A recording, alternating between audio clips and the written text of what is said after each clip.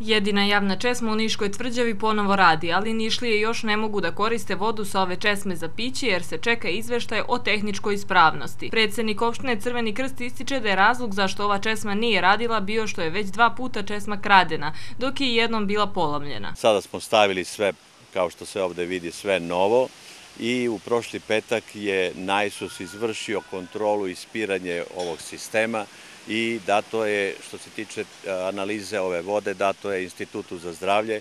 Tu negde traje oko 5-6 dana ta provera i sve ostalo, tako da se nadam i siguran sam da će to biti ovaj konačno između srede i petka ova česma, na ovoj česmi moći će da se pije voda. Kako Milutinović tvrdi, na teritoriji opštine Crveni krst aktivne su četiri javne česme, ali da opština ima dosta problema sa ovim česmama. Izdvojio bi najveći problem, to je česma na romskom groblju, gde dugujemo preko 280.000 dinara, gde više se ne zna ni šta je potrošnja, ni ko koristi.